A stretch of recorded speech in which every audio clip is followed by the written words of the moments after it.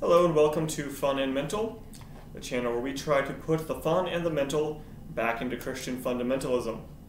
Later this week, I am going to be teaching a class on Luke chapter 6. And in that passage, Jesus is confronted by the Pharisees about uh, the Sabbath and whether or not he and his disciples were keeping it. And what I want to do with the class is after I sort of exegete the passage, I want to address some common concerns, maybe misunderstandings that different people have about the Sabbath. And so I thought I'd share some of those uh, with you. I think the big question a lot of people have is Are we under the Sabbath? Do I, as a New Testament Christian, have to keep the Sabbath? For me, the answer is quite straightforward. The answer is no, you don't.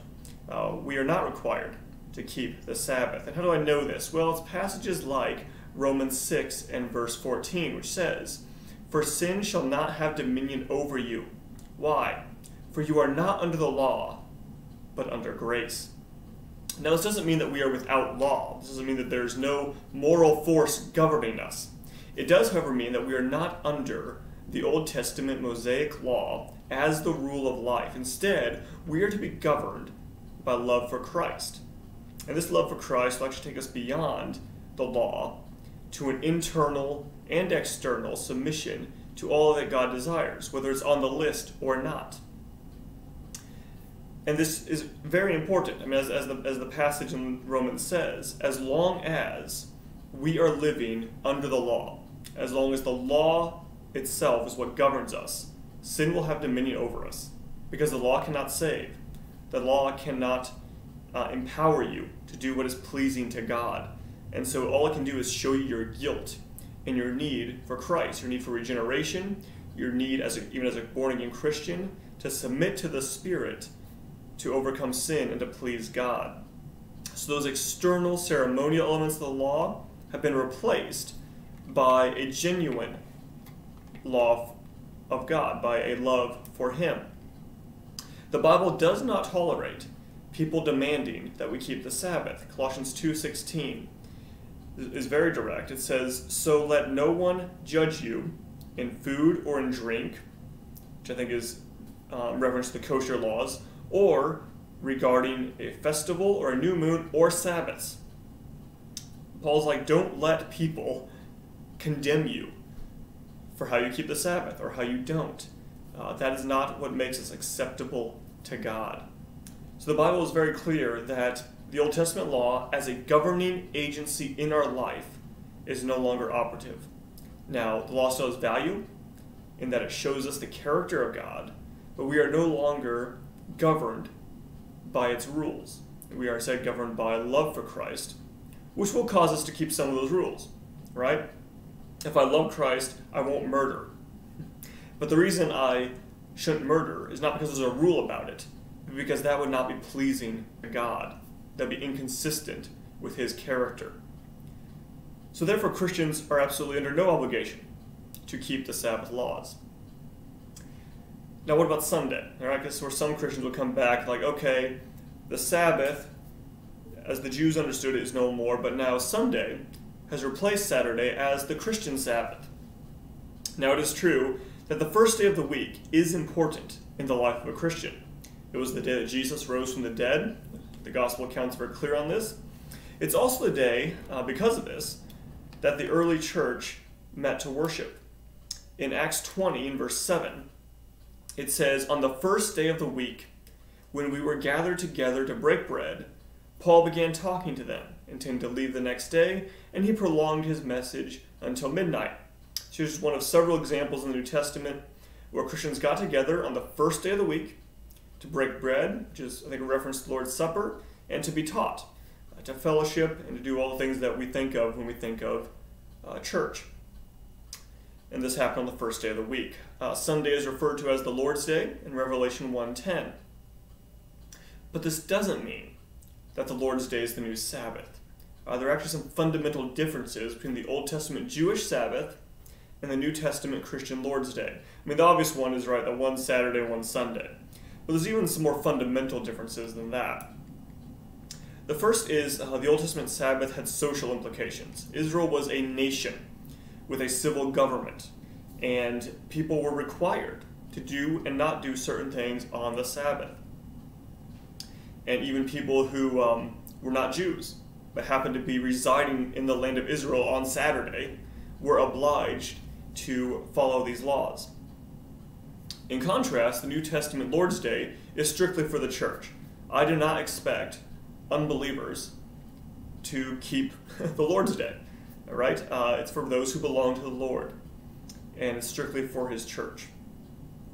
Kind of keeping with that, uh, the Old Testament Sabbath was a day of rest. That was the emphasis of the Sabbath. It was where you ceased from your work and you rejuvenated. That, that's the emphasis for Saturday. The New Testament Lord's Day is a day of assembled worship. It's where you come together as a church, you fellowship together, you study the Word, you sing songs, you take communion, do all those things that go into corporate Christian worship, which I love. Sunday is my favorite day of the week. But let's be honest, I'm not sure you can call it a day of rest, especially if you have kids. All right, trying to get your kids out the door and to church and have them not destroy the building before the day's over, that will exhaust you. All right, I'm not sure you can rightly call the Lord's Day a day of rest, especially if you're a pastor. If you're a pastor, you end Sunday exhausted, and trying to count that as a day of rest uh, to me doesn't make a lot of sense. And I think it's because the Sabbath and the Lord's Day have different functions, for different purposes. The New Testament never states that Sunday is the Christian Sabbath. So if you believe that, I think the burden is on you to prove it, because the Bible simply doesn't say it. So does all this mean that there is nothing for us to learn from the Sabbath teachings? Well, no, of course not. All Scripture is profitable, even the passages that don't have direct application. God is teaching us through the Sabbath something about the relationship between work and rest. And this principle actually predates the Sabbath. During the creation week, God created for six days and then he rested. And, and he wasn't instituting the Sabbath when he did that. He was just teaching us something about the relationship between creative work and constructive rest. We also see this demonstrated in the life of Christ. As we've been doing uh, the study of Luke at my church, I've been impressed by this pattern we see in Lord Jesus of intense ministry, getting next to people, teaching people, serving people, meeting their needs, and then intense rest, intense devotional life, going off the desert and communing with his Father. He did both, and that created sort of balance in his life. So there is wisdom in a six to one work rest ratio. But I really don't think God's particular about when we do the six parts and when we do the one. All right, I also don't think we should be fussy about exactly what that rest looks like. Maybe you're someone that likes to read a book. Maybe you're someone that going on a jog is restful. I, I really don't think God uh, cares how we do it as long as it is pleasing to Him. Now, having said all that, all right, there's another sense in which, if you asked me, do you keep the Sabbath? I would say yes. And then if you asked me, would you keep it on Saturday or Sunday? I would say yes. And on Monday, Tuesday, Wednesday, Thursday, and Friday. In Christ, every day is a Sabbath day. Hebrews 4 1 and 2 says, Let us therefore fear, lest a promise left us of entering into his rest, any of you should seem to come short of it. For unto us was preached, was the gospel preached, as well as unto them. But the word preached not profit them, not being mixed with faith in them that heard it. So what the author is doing here is describing people during the Old Testament who could not enter the rest promised them because they did not believe God. In verse 4, he describes the day of rest. But then in verses 7 and 8, the author of Hebrews uses Psalm 95, verse 8, to demonstrate that the literal Sabbath could not be the rest that God promised, because there was a prophecy of another day of rest coming. He then concludes his argument in verses 9 and 10. He says, Therefore, uh, there remains a rest to the people of God.